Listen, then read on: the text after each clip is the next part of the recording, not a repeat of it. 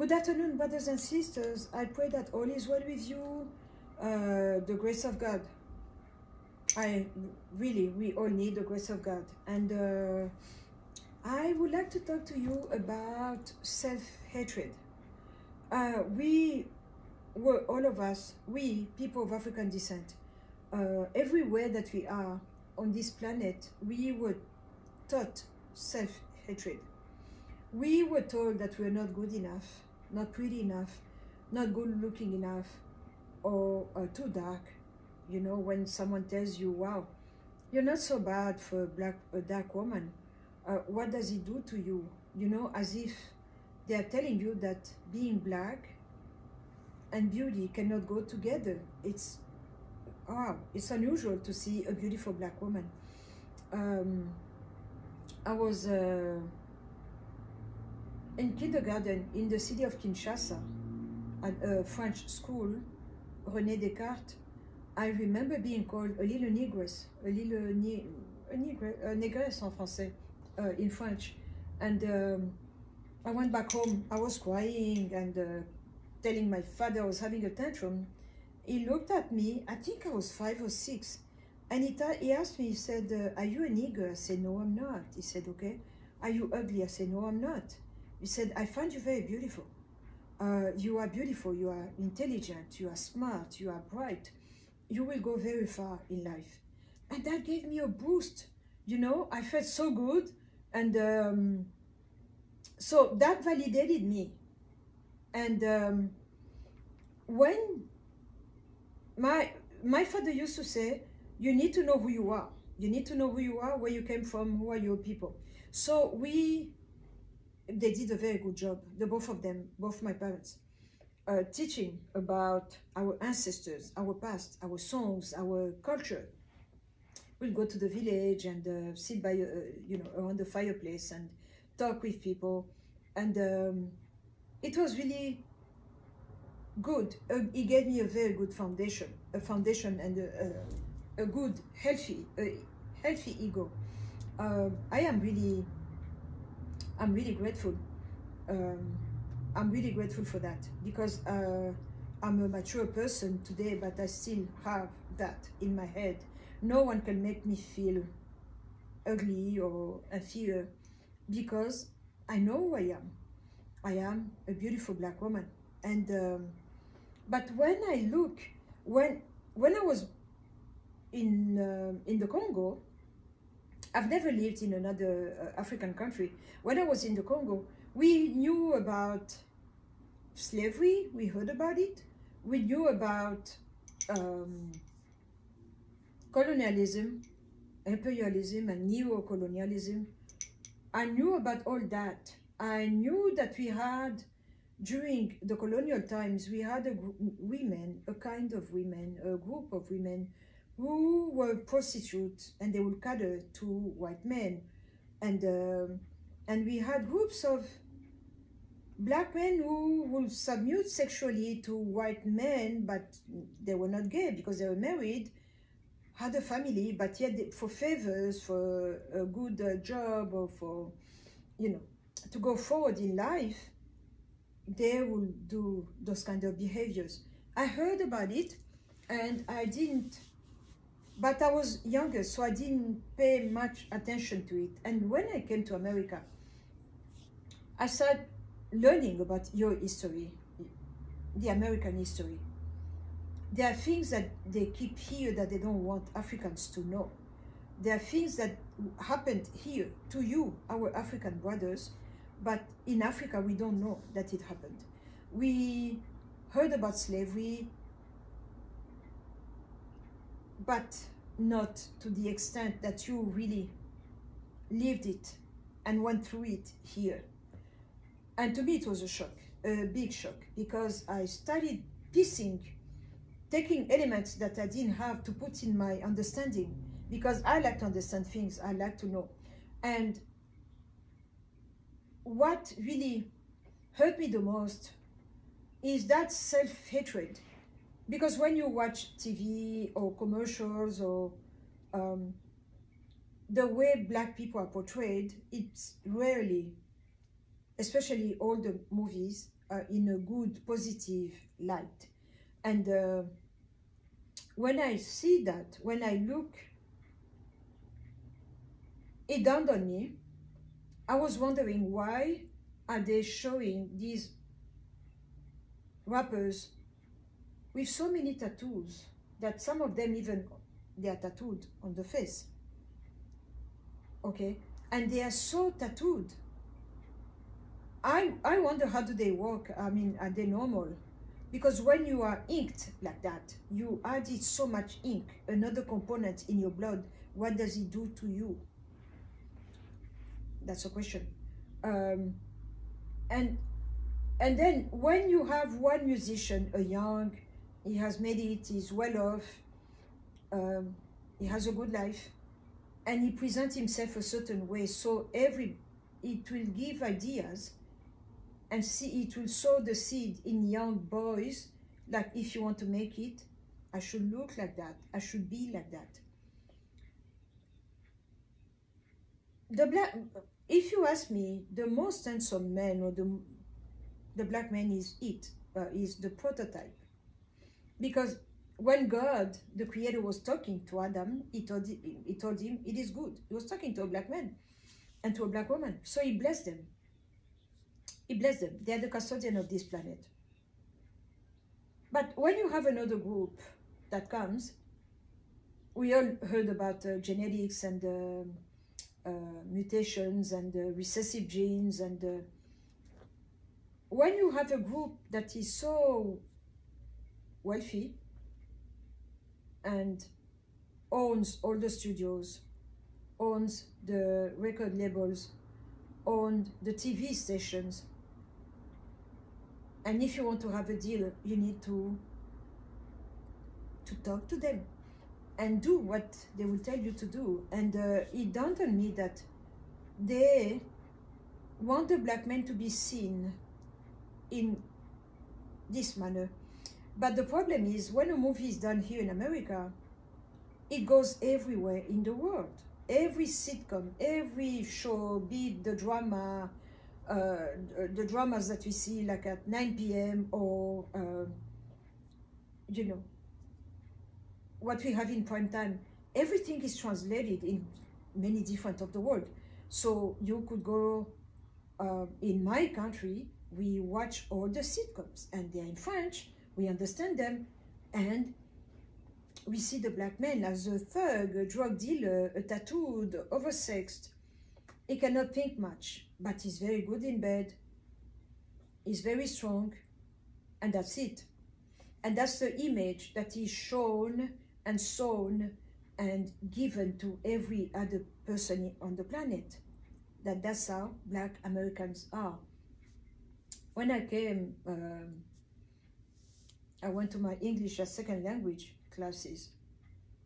They told my sister and myself, be careful, black people are very dangerous they are thieves, they are thugs, they are drug dealers, they are pimps, they are this. I mean, it was, I think I talked to a black person after two years, you know, it was really, when I I'd been in an elevator and, and that was at UCLA, so that's uh, Westwood, you know, very uh, posh neighborhood, but I was looking at black men like it's going to hurt me. And uh, that's what we were told coming from Africa and uh, so it took me a long while to engage with black people just to talk. You know, when I'll go on Crenshaw to buy my hair product and things like that, um, someone wants that, that mistrust. Someone wants to show the black man under that light or to show the black woman that she's well endowed and that's all she knows. She shows her, her boobs. The skirt is too short. She's tattooed and long nails and fake eyelashes and this and that. It's an image that is shown everywhere in the world.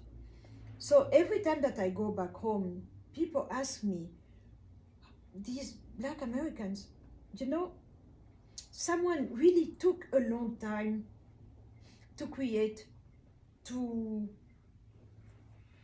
to, to, to do that. But for what gain and what reason? Because you don't keep doing something, without any reasons. You must have a reason. You must have a cause. Why are you doing what you're doing? And it dawned on me. When God said it is good, he was talking to a black man and a black woman. So everybody else came after. I'm talking about ethnicities and colors, uh, you know, skin tones. They came after. But if we keep the black men smoking weed, tattooed, because that ink affects you, believe me. You might think that it's okay to be tattooed. No, it's not. It's not. You, can only go so far. With the kind of job that I do, I'm talking about spiritual job huh, in the context of my ministry. It's only here in America that I saw pastors that are tattooed, uh, worship leaders that have tattoos. It's unbelievable. I'm, I'm wondering if they are aware of what they do in the spiritual realm. With what I do, I cannot have tattoos. It's going to be um, a doorway through which Satan is going to come and hurt me back. So, uh, that's a reality. We might not like it, we might not agree, you might call me old fashioned. I respect that. But I also know what I know. Because when I'm alone at 2 a.m., 3 a.m., and uh, Satan come knocking at my door, I cannot tell him, hold on, I need to call my pastor, or hold on, I need to do this, hold on, I need to do that. I take care of it myself until we finish the problem. So that's why I'm so vocal about it because I've lived it in my life, in my flesh. There are things that we cannot do. And it depends on your ministry and your calling. Mine, I cannot do that. So that's what I know. But going back, so those people who own studios and this and that, they have a need to show the black people in this manner because everywhere else in the world we see the same sitcom we see the same movies and we see black people black men as the rapist the aggressor the mean tall, scary black men. And um, who is benefiting from that? So the reason is they do that to make us, us, forget about the Creator, to make us forget about our identity, about our first place. Because if you don't know that you're first, then they will push you, you'll go last. And everybody else will take your place. Look at it's a conspiracy. Look at the way eh, in every country of the world where you have a multi-ethnic society everybody else on, will do everything to push the black men and black women at the bottom and then we step on top of you. We go higher but you stay there. There is a reason why they like to do that. Uh, they are gaining something by removing the real owner and by taking that place and then when you watch commercials, the way we have a black man and a white woman, a black man with a Latina woman, a black man with an Asian woman, and kids are mixed, right? Very rarely do I see a black man with a black woman. And when, in the Garden of Eden, when God said, um, when he told Adam what will happen to him after the sin, after the fall, when he talked to Eve, he told her what will happen to her and then to the Nakash, the snake. Uh, when he talked about that enmity between her seed and his seed, when he called, he said that there will be head crushers. You will bite them at the heel, but they will crush your head. He was talking to a black man and a black woman. It's only when, naturally, a black man and a black woman come together that they produce a head crusher. Think about that for a minute. It's natural for us. The others, because I pray with people, many ethnicity, I, I gauge them, I pick up their spirit. They have to work a lot. They have to fast a lot. There's something that we have that comes to us very easily that they don't have. But that's my, I'm not asking you to agree, I'm just sharing. So, if you don't love yourself, if you don't you look at in yourself in the mirror and you say, oh, I'm so black, I'm so dark, I'm ugly. Why this, why that? But how can you receive God's love? Because he created you and said it is good. But if you don't love yourself, how can you receive his love? How can you receive his love? Tell me. So we need to love ourselves. We need to love ourselves. We need to talk to our children. We need to validate them. We need to boost their ego in a healthy way. We need to talk to them in a healthy way. They are the prototype. They are not an afterthought. They did. They don't come be behind. They didn't come after. They were there first. And they should love themselves the way they are. And don't think that if you are married to a white woman that it will validate you and elevate you. If you love that white woman because it's love, pure love, it happens, then good for you. But if it becomes a, a, a plan, like I want my kid to come out with good hair, I want my kid my kid to come out with uh, that skin, they will be called mixed, they will call, be called biracial. I don't want them to be called black. I hate black men. Uh, even though you're a black man yourself. That's really sad because you hate yourself and it shows. And in the spirit, that's what you're projecting. So how can you receive God love for you? And um, we need to stop and observe. And uh, for my father, I received that validation. He pushed me actually I had to tone it down because I was beginning to have a big ego, like uh, being full of myself, which is not good when you you are serving the Lord, right? But I had that from my dad, and he validated me, so I, di I didn't need a man to tell me that I was pretty. I knew I, I am beautiful. This is how God created me. I am beautiful. I am smart. I am dark eh, with my hair, with my hips, and this is how God created me. So for my mother, I learned that it was okay for a girl to cook. She taught me how to cook. She kept telling me, you catch, you catching a man is not a problem. Holding a man is a problem. And how do you do that? You treated him like a man. A man is a man. He's the king of the castle. A man, you talk to him this way. You don't talk to him down. You don't bring him down. You help him go forward.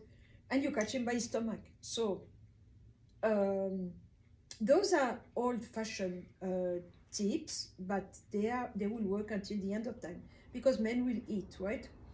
And uh, yeah, you could go out, go to a restaurant every day, but believe me, there is a big difference between a home cooked meal and um, take out food. You don't even know they're giving you cuts, telling you that it's chicken. For all we know, things are becoming so weird now, you know. So that's what I wanted to share with you. Um, we need to stop calling ourselves bad names, negative names, negative words. Stop insulting and belittling the black woman. You came from her. How can you hate the womb that carried you? Do you think that you are attracting blessings? Love brings, it's a give and take. I love you, you love me back. And uh, I'm your mother, I birthed you, I nurtured you, and now you're a grown man. And then you turn around, you start calling women different names that are not flattering, that are not loving. We need to stop that. It's a curse. Someone up there sat and plotted. They want to keep us in this move. And this is very, as long as we are here, we will not get what God has in store for us. And we are coming full circle. We started with the black people, we are ending with the black people. I'm very serious, people of God things are moving very fast. We are going to discover things. People are waking up. People are seeing and understanding things. I'm talking spiritual uh, things. The truth is coming out. The truth was hidden for centuries, but it's over. It's coming up and out. And people are going to know. More people are going to be aware and understand that this was a lie, this was the truth. And they took the truth flipped it and put something else on top. These are the real ones. Those are usurpers. It's here. They cannot hide it anymore. So we have to be ready. Because as we are right now, if we do not change, I'm talking about quick change, uh, very few are going to step into that next phase with God because Jesus himself was a black man. God, according to the book of Revelation, is a, uh, a black man. We need to love ourselves. Black men, love yourselves and love the black woman. Black woman, love yourself, love the black man. Tone it down. Yes, you are beautiful, but don't overdo it. Yes, you are, but like we say in Africa, we don't eat beauty. So you can be beautiful like a mermaid. Uh, in Africa, they call her mami wata. You could be beautiful like a mermaid, and yet you are alone. You don't have a man because your ego is too big. And um, and as soon as your kids are old enough to find a job, they move out and they run away from black women because of what the black mother did to them or the way you treated them. I'm amazed when I see the way the number of black men that are running away from black women in America is unbelievable. We don't have that in Africa. We love our men and they love us back and they respect us. They give us that place. You know, you feel validated, you feel valued and wanted and needed most of all. Because women needs to be need, needed. We are different. We need different things. So um, technology, iPad, iPhone will not replace those values, those roles. I mean, the needs that we have, they are different needs. And uh, so we need to treat ourselves with love and love us, ourselves, first and foremost.